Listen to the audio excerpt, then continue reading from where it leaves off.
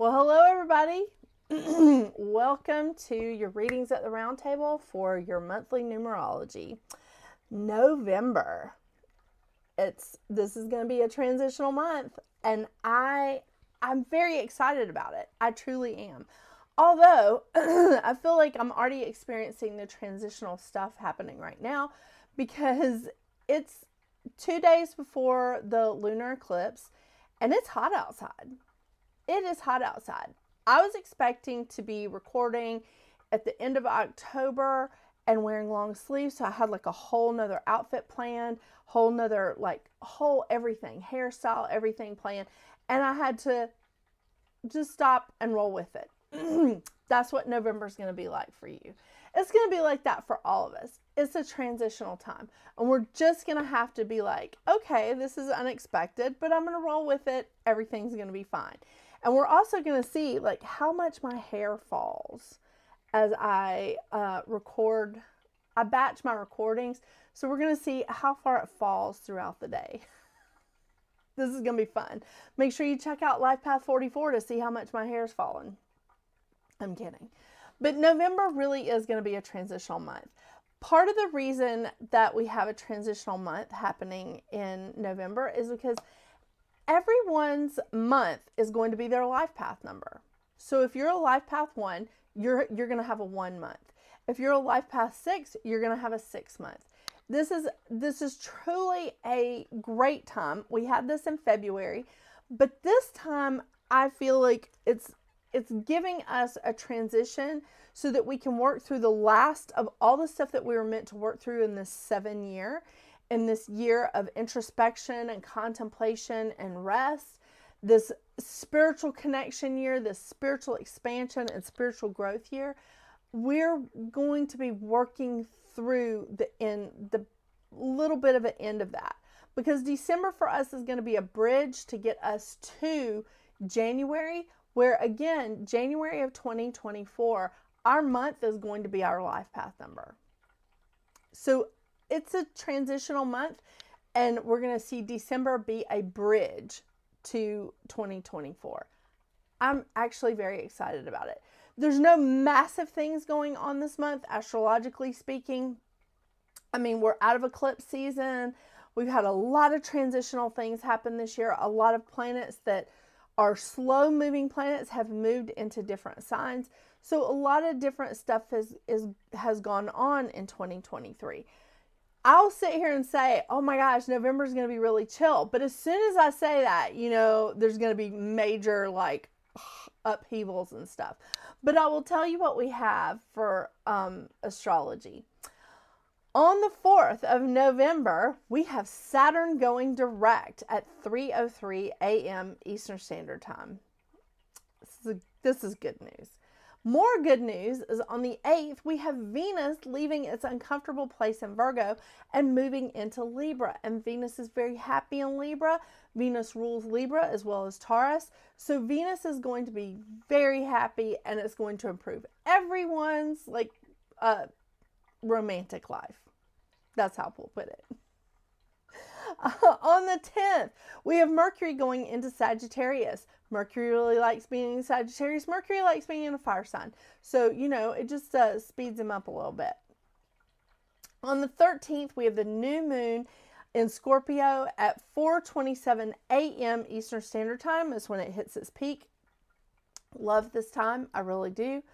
Um, on the 22nd, we have the sun moving into Sagittarius, more fire in the sky, and then joining that Sagittarius party with Mercury and the sun is Mars moving into Sagittarius on the 24th. Yeah, there's the party. On the 27th, we have the full moon in Gemini at 4:16 a.m. Eastern Standard Time. And this is usually a really fun moon. Like the full moon in Gemini is usually a lot of fun. It's like frivolity. I mean, it's it should be a good party. So, we'll see about that, right? We end November with four planets, including North Node, in fire. And yes, I know North Node isn't a planet. Um, then we have three planets in Earth, two in water, and one planet in air. if you have a lot of air in your chart, you may feel a little bit of a drought at this time. You may feel like, you know, a little bit of lack or whatever, but it's okay. It's like a, it's the up and down, you know, it's the, it's the cyclic thing. This happens with all of our signs from time to time. And, you know, it, it just, it's happening. But it's okay. It's okay. Give it another few weeks and things will change for the better for air. Um, remember, November is um, the month of November is everyone's life path number. So if you, again, if you're a two, then November is going to be a two for you. And this is a very transitional month, and I'm very excited about it. I truly am. So let's kick back and enjoy the start of the holiday season. I know we have Diwali happening in November, and of course, the US has Thanksgiving. Should be fun. Should be a fun, fun month. So let's see what your life path is, what your life path situation is going to be for you in November.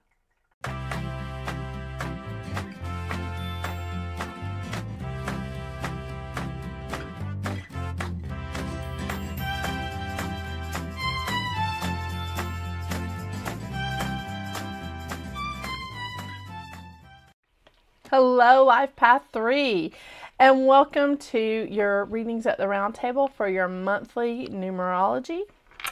I'm Jennifer. This, this is Mouse, who is playing with my crystals. He does this all the time, all the time. I mean, he, you know, he sleeps in my office, so sometimes in the mornings I come down here and my crystals look like they've been having a party. And they, they have. They've been having a party with Mouse because he's like like dusted them all over the all over the desk. Mm-hmm.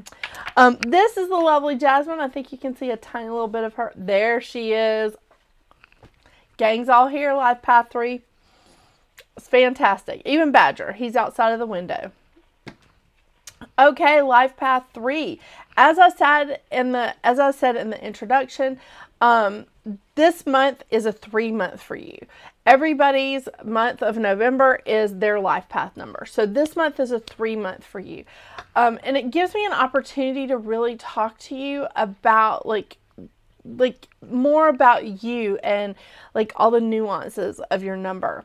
So, to start off with, the mantra of the three is I am creativity and vibrant expression, sharing my authentic voice freely. This is so important for a three. Oh my gosh. Because the first thing, first and foremost about a three is communication of thoughts and emotions. Being able to communicate your thoughts and emotions authentically and honestly is so, so important. Um, self expression, whether it's in art or music or writing or speaking engagements, is so important. It truly is. Being able to speak your truth Mm, when you can't speak your truth, when you can't be your authentic self, it really, really can mess up your gut.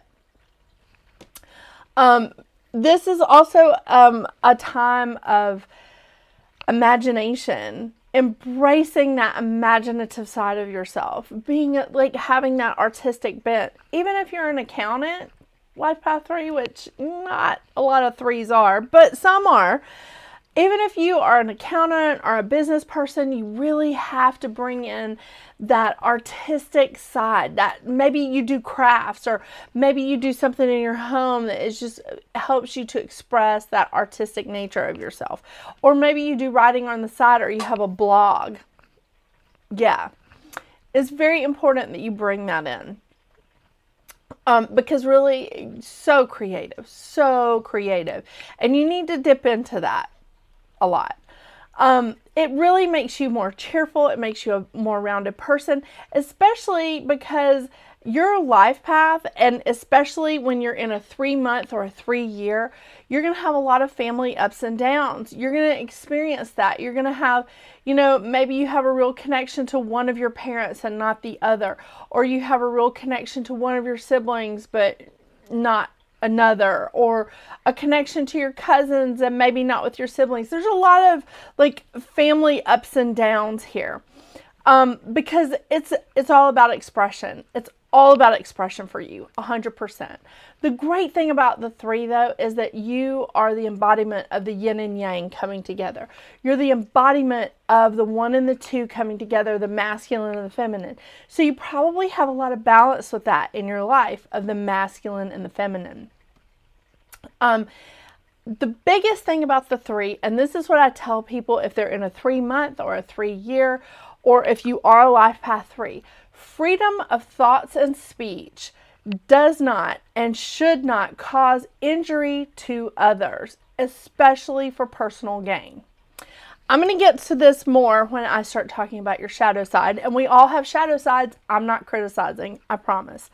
Um, I think my hair is already falling, and we're only at life path three. Mm.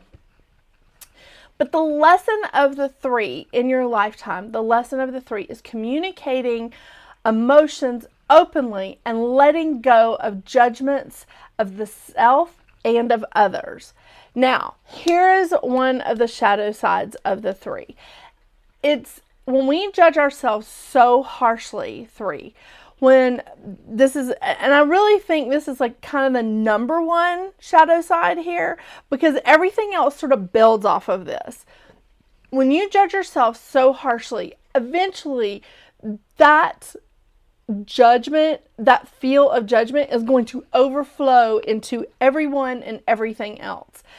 And it starts with you, it starts within yourself. So keep that in mind when you start recognizing that you're really critical of I don't know, the people at Walmart or how Target set up their fruit display. I don't know, uh, you know, what's going on at Kroger or your local grocery store or, you know, why your cat is flicking its tail right across my, my, my microphone wire.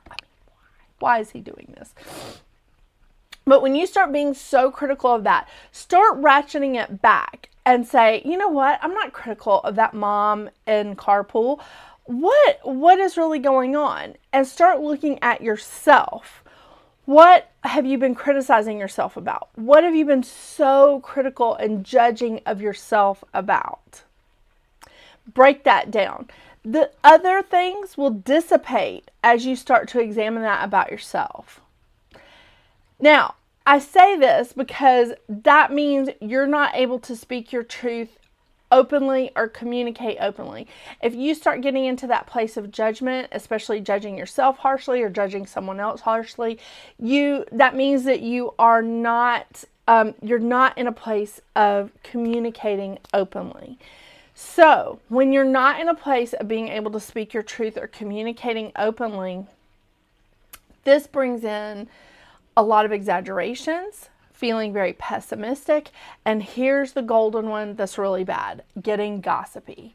And we've all seen that. We've all seen that, right? Where you've had somebody gossiping about you, you know, when you walked into work and you've heard them down the hall just like at the the owner or the manager in the manager's office, you know, telling just horrible things about you and you're like that's not true because maybe maybe they were also a 3 and they weren't able to communicate for themselves openly and truthfully. So they set that in motion about gossiping. This is not where you want to be 3 you are absolutely better than that. Embrace it. And if you find yourself in a gossipy place and it happens to us in 3 years it really does. Um, 2019 was a 3 year yeah. Um, 2019 was a three year. If you're in a three month, think about that and feeling that that energy because you're going to be doubling down on that. You're going to be doubling down on those feelings. Okay. Um, three people are destined to lead cheerful, optimistic lives, achieving success that they deserve by the nature of their ability to accept the bad in life along with the good. Do you see? It's balance, it's harmony. It's balance and harmony. It's the one and two coming together. It's the yin and yang coming together, three. This is how amazing and powerful you can be. And having this month of a three in a transitional time, I think this is wonderful for you. I truly do. If you find yourself dipping into those shadow sides, we all do it 100%. Right here, I'm a Virgo. You can't find somebody like more critical than a Virgo. Well, you might if they're a triple Virgo. but the thing is, we all do it. But if you find that you've been in the shadow effects more than in the light attributes of your number, rethink it. Rethink it. Work within this because this is a transitional time. And you're just so awesome, three. Come on. Isn't that right, Mouse? What do you think? Okay. I am reading from the usual suspects, the usual card decks that I do. Uh, the Goddess Guidance Oracle deck. And excuse me, Mouse. Excuse me. I'm so sorry. And the Healing Oracle Crystal reading cards. Um, you know, my go-to cards for numerology. I will switch over the camera so that you guys can see your card around the cat. You know, just been waiting for him to do this all day. Ooh, the Butterfly Maiden Transformation. Oh my gosh, three. This is so incredible. Um, I love this. Oh, this is great. Okay. Sorry, let me just get these out of the way of my cat. Can't have anything like disrupt him, right, Mouse?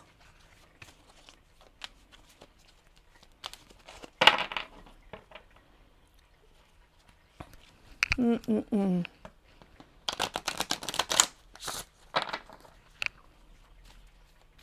Yes, hello.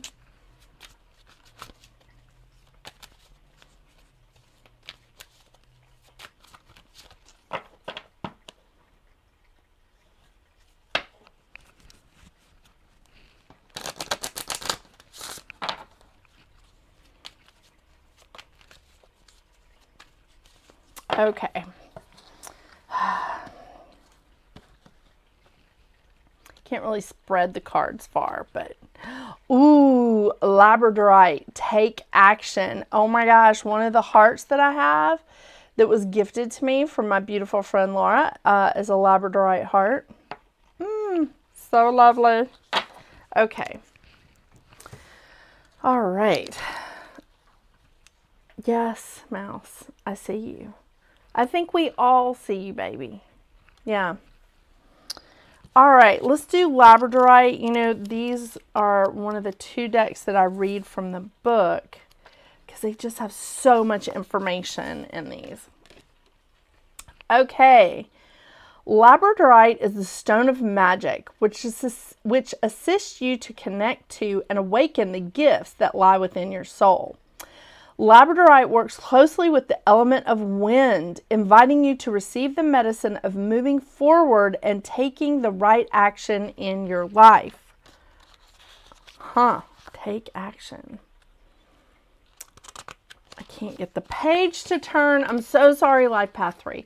Okay, it allows you to connect to the mystery and the magic of life. It assists in awakening the magic of your soul, brings deep awareness to your spiritual knowledge, allowing it to manifest in your day to day life.